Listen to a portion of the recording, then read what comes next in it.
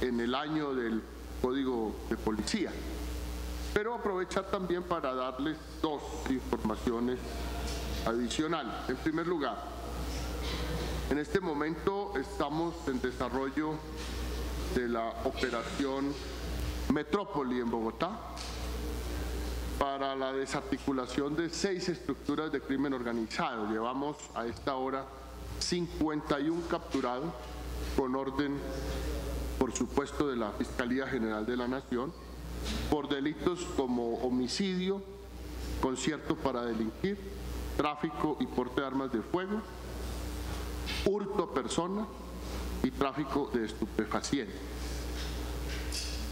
Este es un trabajo que lleva ya varias semanas y que está localizado en cerca de seis sectores y localidades de Bogotá eh, y hemos hecho registro y allanamiento en 38 inmuebles de esas localidades donde hemos encontrado que inclusive estas bandas usaban menores de edad para la comercialización de los estupefacientes. Es una empresa eh, criminal, por supuesto, que estaba moviendo del orden de los 120 millones de pesos solo en el uso de menores mensuales, en el uso de menores para el tráfico, microtráfico de estupefacientes. Esta es una operación de gran importancia para los bogotanos en el sentido de que recoge una serie de eh, órdenes de captura que estaban pendientes, que logramos localizar a los titulares de estas órdenes de captura y ponerlos a disposición de la justicia. En segundo lugar, recabar sobre los últimos cuatro golpes que se han dado al clan del Golfo, sobre cuatro muy peligrosos delincuentes.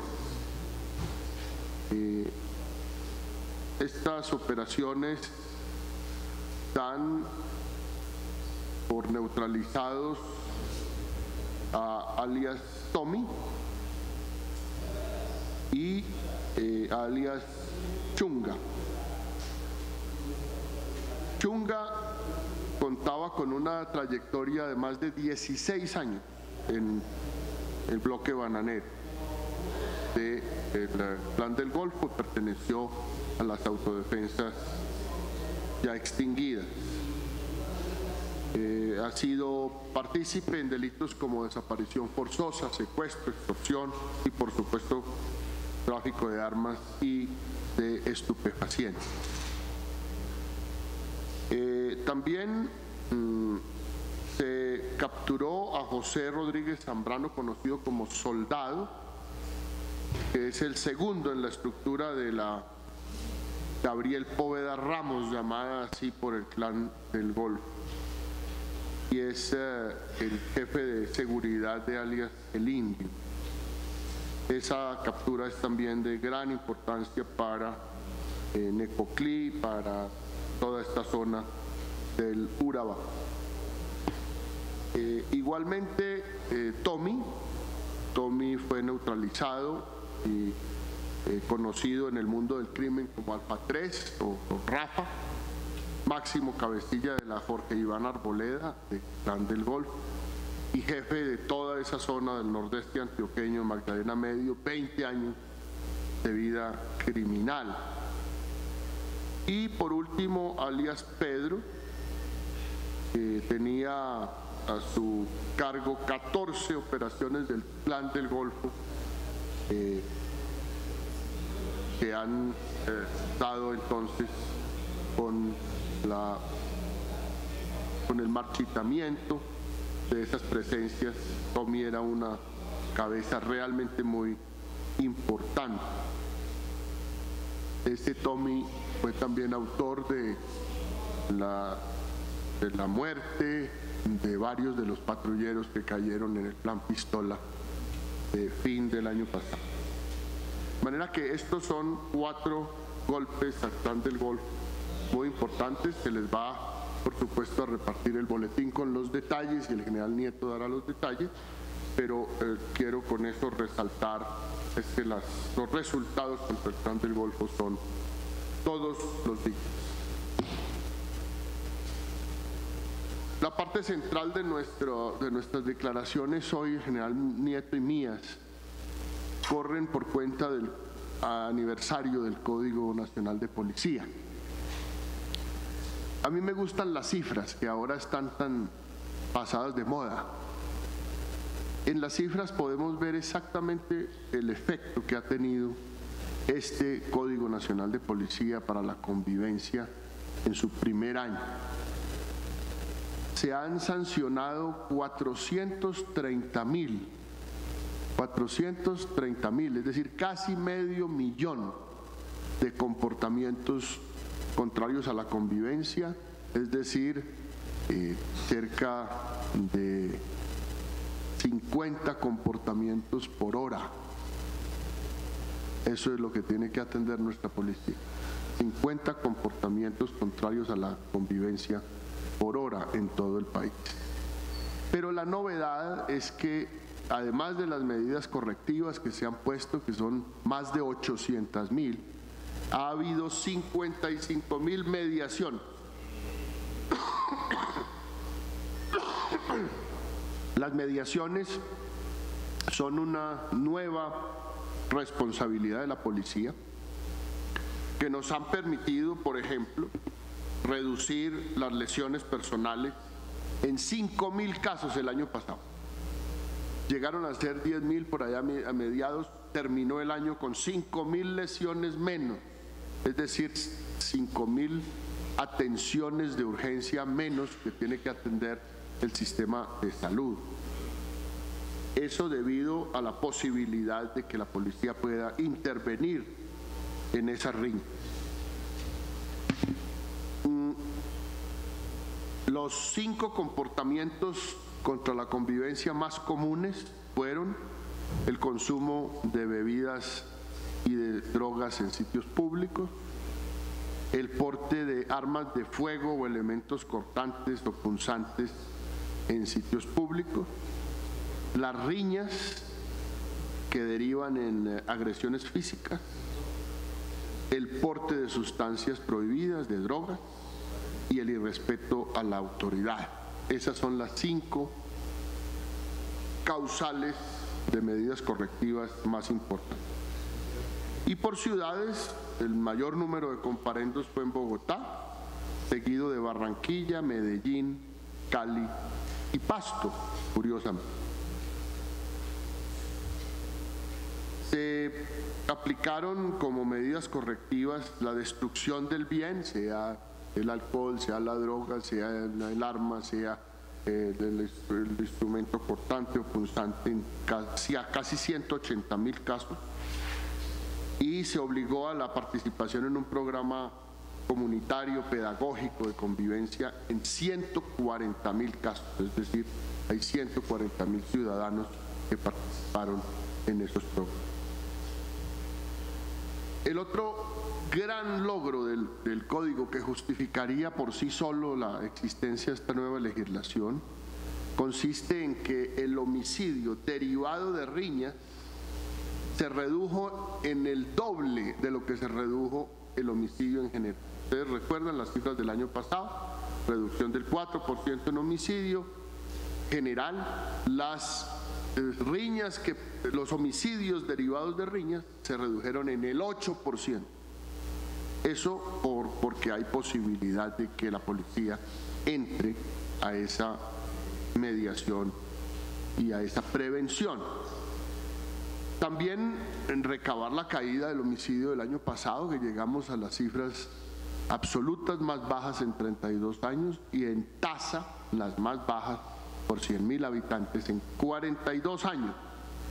Y las regiones donde más se redujo el año pasado el homicidio fueron en Bogotá, 13% de caída, en el Huila, 46%, en Antioquia, 21%, en Cundinamarca, 22% y en el Cauca, 40%.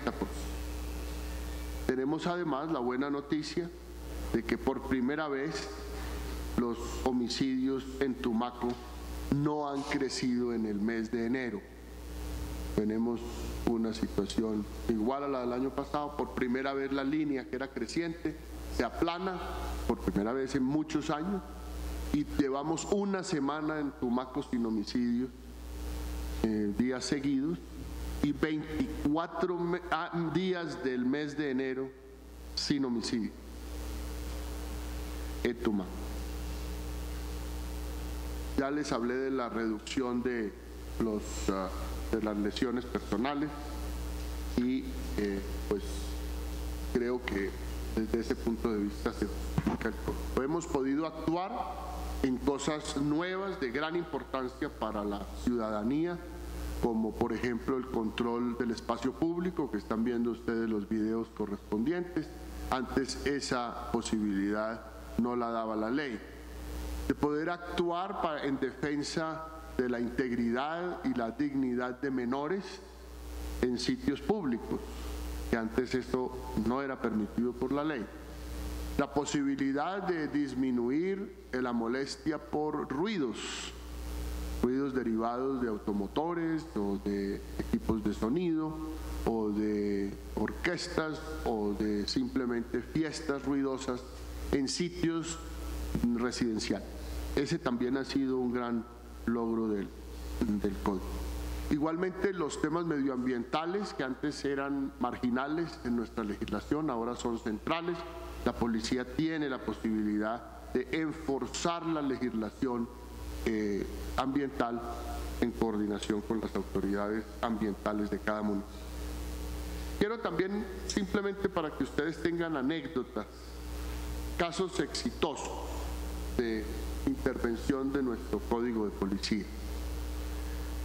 Eh, en Bucaramanga, durante el primer semestre de 2017, hubo un incremento de homicidio por riña y a partir de agosto, en la primera etapa de vigencia de nuestro código, se, logró un mejor control del centro de la ciudad en materia de consumo público de alcohol, de sustancias psicoactivas, y eso logró que en Bucaramanga el homicidio por riñas se disminuyera también en una proporción mayor que la disminución general del homicidio, cayó un 7%. En Armenia hay una señora que nos reporta que ha residido en el centro de la ciudad de, la capital del Quindío prácticamente toda su vida y que ha visto cómo eh, la invasión de establecimientos ruidosos a ese centro de Armenia pudo ser controlada por la policía eh, a partir del segundo semestre del año pasado. Eh, en Bolívar, en San Estanislao, en, el mes de octubre, hubo la demolición de un inmueble, como en muchas otras ciudades de Colombia, por ejemplo en Medellín, por ejemplo en Cali, eh, donde funcionaba una llamada olla, donde ahora la policía puede ingresar y hacer la demolición y poner a disposición el inmueble de la Fiscalía para la extinción de dominio. Eh, en Antioquia, en Prado, se pudo ingresar con la autorización que da el código a un inmueble donde se encontró a una señora que estaba herida. El agresor estaba en ese momento cometiendo la agresión y portaba un arma y gracias a esa oportuna reacción de la policía se pudo salvar esta vida en eh, Bogotá, en Bosa, un intendente me reporta, es de la Policía Metropolitana, y con, un gran orgullo me puso ese, ese correo diciendo que disminuyó notablemente el porte de armas cortopunzantes y el consumo de sustancias por el control que se pudo hacer con el agradecimiento de la comunidad. En Montería, la utilización de la mediación policial que permite el código permitió la disminución del homicidio causado por riñas, ya no en un 7 u 8% como en Bucaramanga o en el país, sino en un 60% en Monterrey. Barranquilla se pudo recuperar espacio público en el puente de la Murillo con la cordialidad, que era un foco muy grande de inseguridad, que lo habían reportado así como otras zonas de la ciudad que creo que tienen eh, que tienen fotografías de antes y después. Y en Bogotá, el sector del cartuchito, conocido el barrio María Paz en Kennedy, eh, se ha logrado transformar este sector gracias a la, eh, al cierre de recicladores, de pares, de prostíbulos, compraventas, en fin, muchas redes ilegales que se habían apoderado de ese sector del cartuchito en Kennedy que hoy están plenamente a disposición de la ciudad.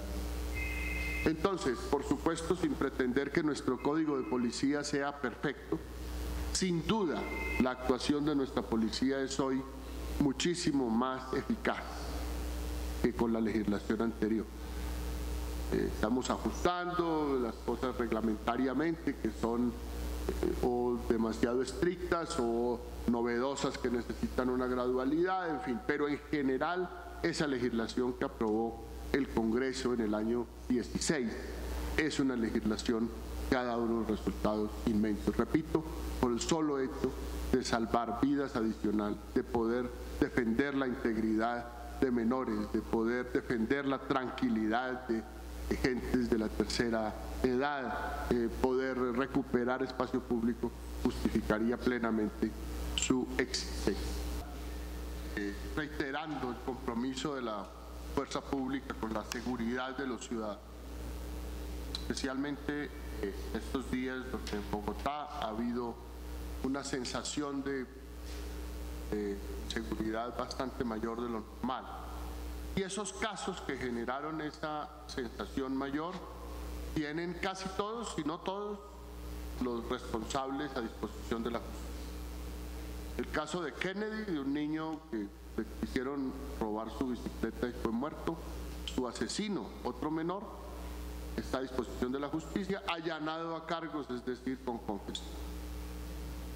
Los eh, ladrones de relojes, pinos, cadenas, dos están a disposición de la justicia, apresados en el barrio Restrepo hace unos días. Los tres asaltantes de la señora de Rosales, embarazada, los tres están a disposición de la justicia, dos capturados y uno que se entregó. Y en el resto del país, el avión que fue secuestrado aparentemente por el Ejército de Liberación Nacional con valores. Fue rescatado el avión, capturado su piloto, rescatados los dineros que iban en ese avión y el material de guerra presuntamente del Ejército de Liberación Nacional, que fue el que cometió ese delito y estamos con buenas pistas sobre el resto de los autores. Y en Barranquilla, el trágico tema de nuestra estación de policía, lo mismo que en Santa Rosa, eh, y en, Soledad tiene ya el autor material de lo de Barranquilla a disposición de la justicia y el segundo sujeto eh, que es culpable presuntamente de esta operación terrorista fue identificado pasando la frontera a Venezuela. Pero con esto lo que quiero decir es que detrás de cada uno de esos hechos que generaron en su momento inmensa preocupación, hay una acción policial de la fuerza pública y de la justicia. Eso eh, da, por supuesto, el mensaje a la delincuencia de que esos delitos no quedan impunes, que sus autores reciben las más altas condenas y castigos. Y así seguirá sucediendo en todo el país. En Barranquilla, por ejemplo, estamos reforzando desde esta misma semana con 1.500 hombres adicionales las fiestas del carnaval que están los barranquilleros y los miles de visitantes que estarán en ese carnaval, con toda la tranquilidad, disfrutando de una alegría natural de los barranquilleros. Y, eh, por supuesto, las autoridades locales, tanto alcaldía como gobernación del Atlántico, están listas a coordinar con la policía que sea una festividad en orden, con toda alegría para toda Colombia, especialmente para Barranquilla. Eso es lo que tenemos por el momento.